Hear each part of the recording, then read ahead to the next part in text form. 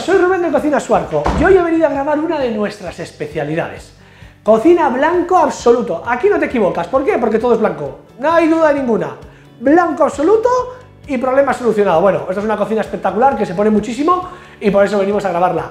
¿Qué más vamos a encontrar hoy? Un amueblamiento en forma de L y luego vais a ver cómo hemos sacado una península. Bueno, es que luego vais a ver la península con barra, que es que realmente es lo que ya le da la puntilla a la cocina. Tenemos, como os comentaba, 10 metros cuadrados, 360, 3 metros, 250, 360, 3 metros, 250. Equipación de electrodomésticos en cristal blanco de Balay, encimera de Silestone blanco Zeus. Bueno, ¿y cómo está fabricada esta cocina? Ah, bueno, perdón, la puerta blanco brillo con cuatro cantos PVC láser, pero sin uñero y sin nada, sino que toda la cocina lleva perfil gola blanco, que es el perfil que va cajeado dentro del mueble, como luego veréis.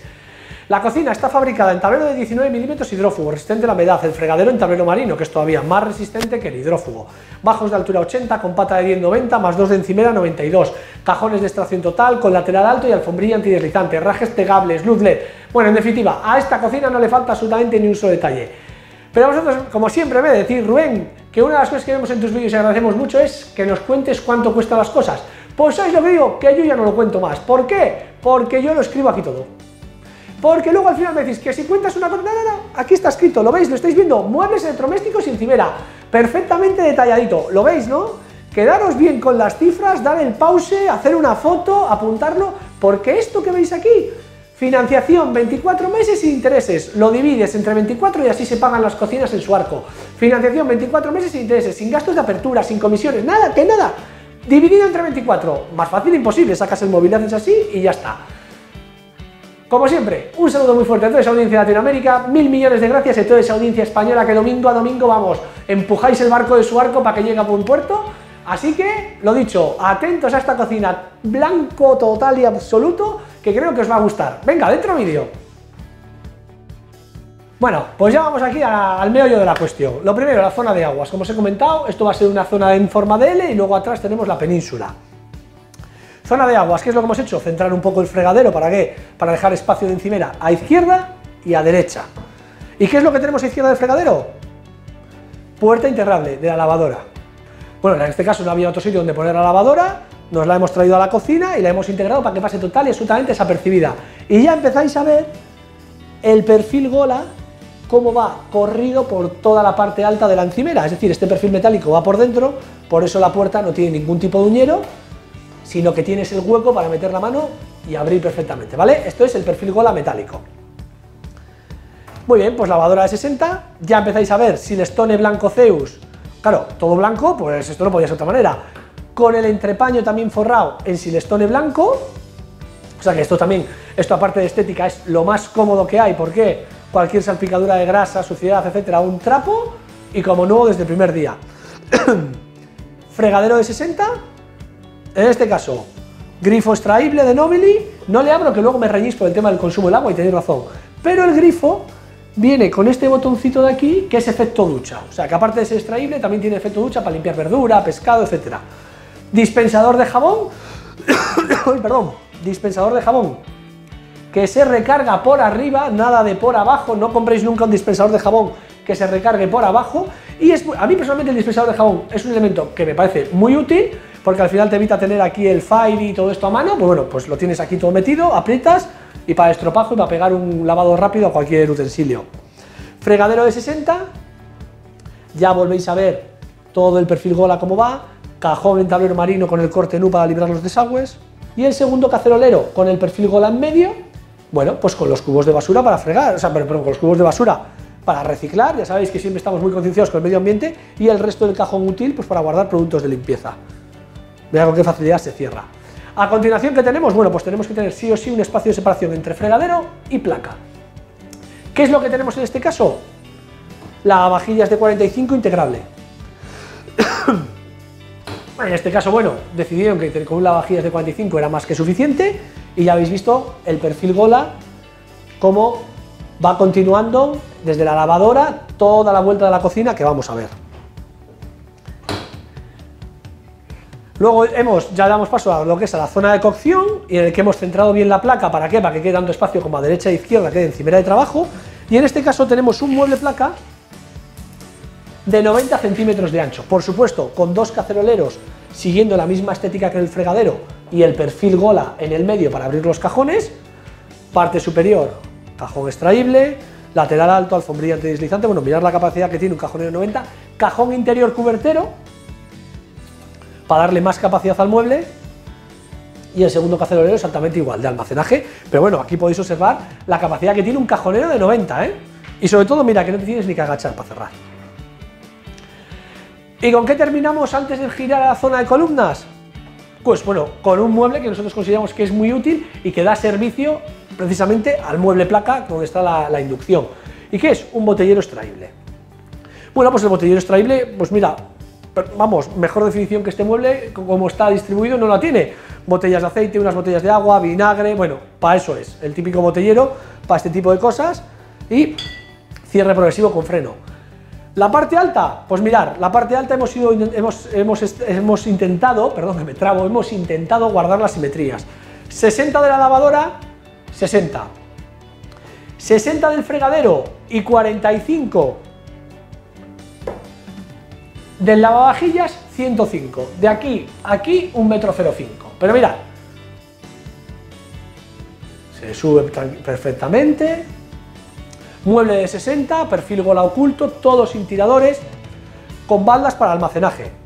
Ya os fijáis también con sus tiras de luz LED, es decir, estas son zonas, la zona de aguas, son zonas críticas de trabajo, por lo tanto viene con su luz LED y también viene con su aplique de enchufes que se coloca justo en las esquinas estas debajo del mueble.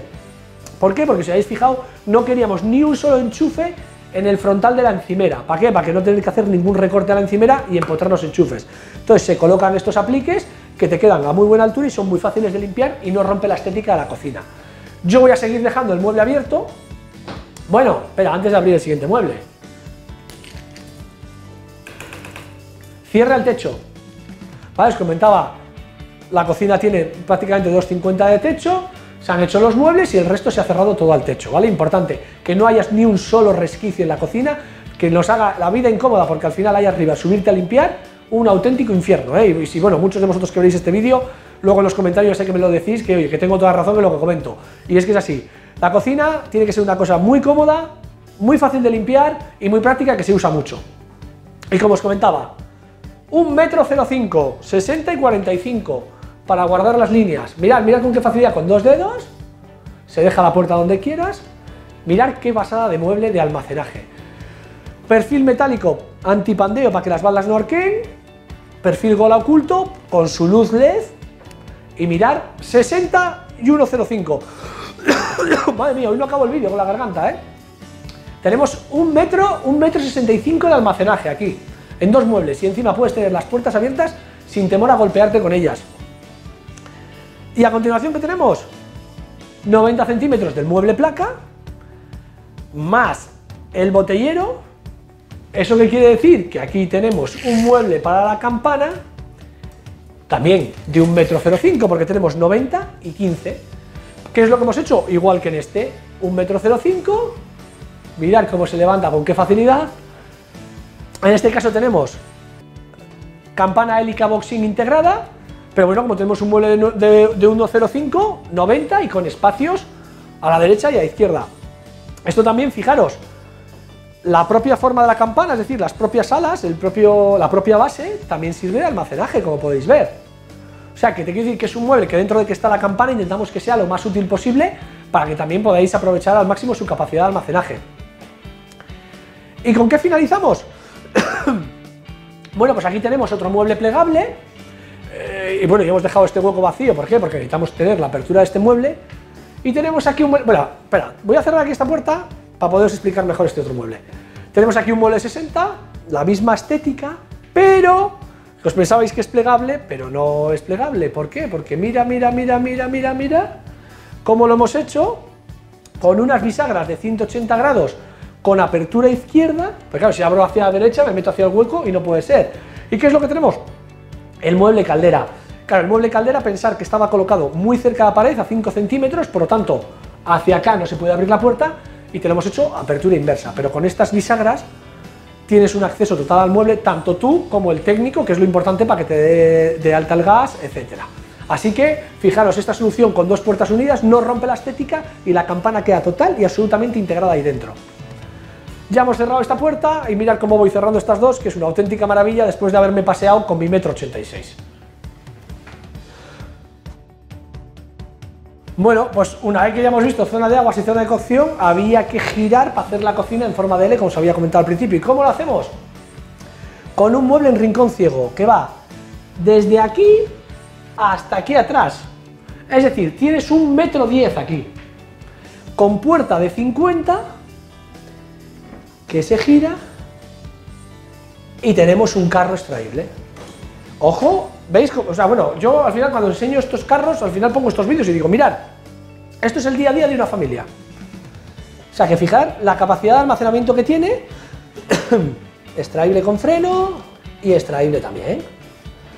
Si no tuviésemos ese mueble, contarme qué hacemos con ese hueco, pues se convierte en un auténtico infierno, al final acabas metiendo ahí que no sabes ni lo que haces y al final es un mueble incómodo, o sea que al final ese tipo de cosas no son un gasto, sino que son una inversión en comodidad en la cocina.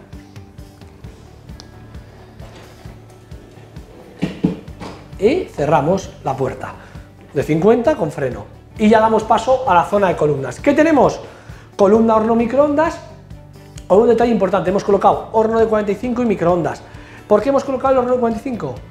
Porque el perfil Gola, si lo veis, sigue la misma estética y el cajonero que hay debajo de los hornos, del horno concretamente, también el segundo cacerolero sigue la misma estética.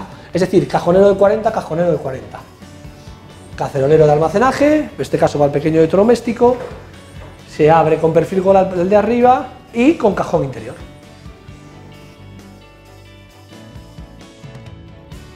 para dotarle de un plus más de almacenamiento. Horno de 45, microondas y puerta alta. Aquí no íbamos a meter ningún perfil cola ni nada porque estéticamente no queda bonito. ¿Qué es lo que hacemos? Puerta con pulsador. Para almacenaje. Cierre al techo, como podéis observar, igual que en el resto de la cocina. ¿Y con qué terminamos? Pues mirad, terminamos con un mueble columna con un frigorífico de 2 metros de cristal blanco de Balay, con su altillo frigorífico con pulsador, bueno, pues ya sabéis, aquí se llega mal, ¿eh? que me lo decís en muchos vídeos. ¿Y ahí arriba cómo llego? Bueno, pero ya veis para qué es, en este caso se guardan tuppers, etcétera, lo que menos se utiliza, ¿vale? Yo también me tengo que poner de puntillas para poder llegar. Y esta columna frigorífico de 2 metros, como comentaba, con el altillo, con una regleta de 4 centímetros aquí, ¿para qué? Para que la puerta pueda hacer perfectamente este juego y se pueda abrir por completo.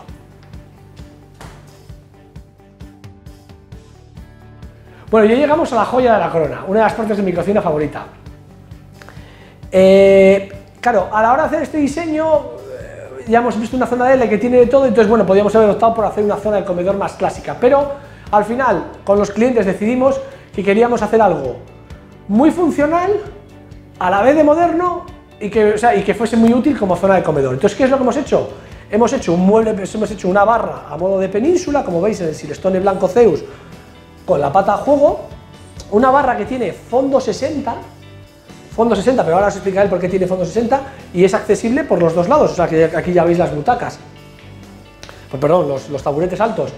¿Y qué es lo que hemos hecho? Bueno, pues tenemos la barra y justo a lo de la barra queríamos dotarle un plus más de capacidad. Hemos hecho un mueble escobero de 40 con perfil gola vertical, es decir, que se abre así, metiendo la mano aquí, y mirar, ¿eh? ¿Veis el perfil gola que se hace dentro del mueble? Fijaros qué mueble escobero de ancho 40 centímetros. Hemos hecho una estructura, una división suspendida para guardar productos de limpieza con baldas regulables, pero lo más importante es la parte de abajo. Mirad, vas en tablero marino, entra el cubo de fregar, entra el recogedor y entran las escobas, en 40 centímetros de ancho. O sea que fíjate, con medio armario tenemos todos los puntos de limpieza de, una, de, la cocina y prácticamente de la casa perfectamente ubicados y la parte alta de despensa, en este caso una la leche, lata de cerveza, etc. Y cierre progresivo con freno, con su perfil gola en vertical, que da un poco de continuidad al perfil gola del resto de la cocina. Por supuesto, cerrado al techo, igual que el resto de muebles, y este costado visto, que baja hasta abajo, bueno, otro matiz importante, el fondo de este mueble es fondo 40, es ancho 40 por fondo 40. Y el costado visto que baja, vamos bajando poco a poco, tiene un costado, tiene un protector de costado metálico, igual que todos los que van al suelo, pues bueno, porque son zonas críticas, como siempre digo, a la hora de barrer, fregar, etcétera. Unido a que también hay aquí una puerta de paso con acceso a un tema de garaje. Por lo tanto, bueno, esto es una zona de mucho paso y tránsito. Y ya llegamos a la, península, a la barra península que hemos hecho, un fondo 60, un metro 20 de largo, y mirar qué mueble persiana hemos hecho encima de la península, porque este tipo de muebles están pensados para, este, para estas esquinas o para este tipo de situaciones. Persiana blanca, fijaros qué maravilla, cómo sube. Mirar qué capacidad de almacenaje tiene la persiana.